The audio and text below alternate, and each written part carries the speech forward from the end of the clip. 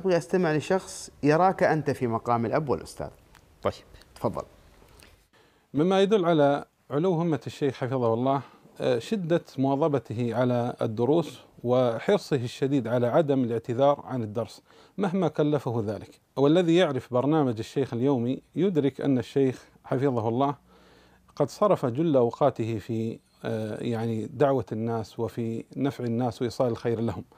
فالشيخ حفظه الله منذ أن يصبح إلى أن يمسي ما بين درس وما بين تأليف وبرنامج الفتاوى غير اللجان التي هو عضو فيها كلجان الفتوى وما شابه ذلك.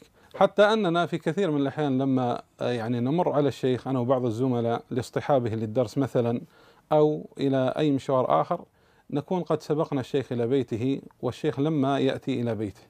وهذا ما هو معلوم مما يكلف الشيخ يعني الجهد والطاقة ولكن من احتسب أمره إلى الله عز وجل أو من احتسب عمله إلى الله عز وجل فتأتيه المعونة من الله سبحانه وتعالى. من الصفات الجميلة للشيخ حفظه الله حرصه الدام على استثمار الوقت. فما أن نصحب الشيخ في يعني مشوار أو في رحلة معينة إلا وتجد الكتاب قد سبقنا إلى السيارة. شيخنا حفظه الله من الناس الذين لا يحبون الجدال في الدين. أذكر في هذا السياق أن كنا في مجلس يضم مجموعة من طلبة العلم والمشايخ وصار هناك تداول وطرح. صار هناك يعني طرح لبعض المسائل العلمية وبدأ النقاش وكل أحد أدلى بدلوه. الذي لفت نظري أن الشيخ حفظه الله قد لزم الصمت وهو يعني من أعلم الحاضرين في ذلك المجلس.